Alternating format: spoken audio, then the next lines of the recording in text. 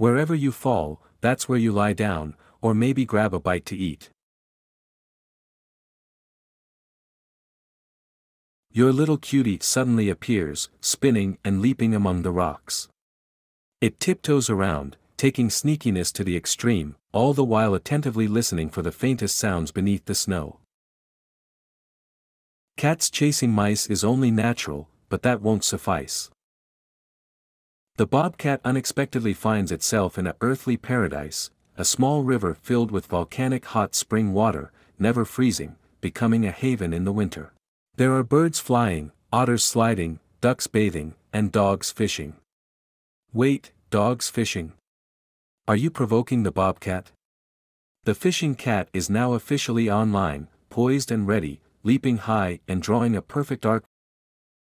Forget it, the water's a bit chilly, and, in reality, cats in the wild don't like water. It then sets its sights on ducks near the shore. Who can resist the delicious roasted duck?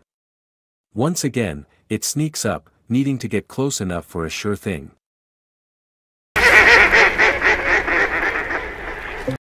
The audience can't help but burst into laughter, and the bobcat leaves sneakily. The picturesque scene is no longer appreciated, but it seems to have forgotten it's not underwater but in a tree. The bobcat makes a pounce, and the next moment, it disappears from the frame. You're here for a show. The squirrel is now deeply regretful. It turns out the bobcat is cute but not dumb. That's about it for today's content.